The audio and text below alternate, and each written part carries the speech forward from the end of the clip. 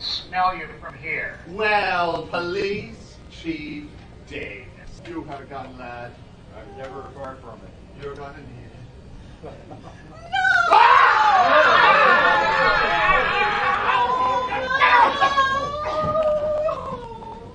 I miss him. No.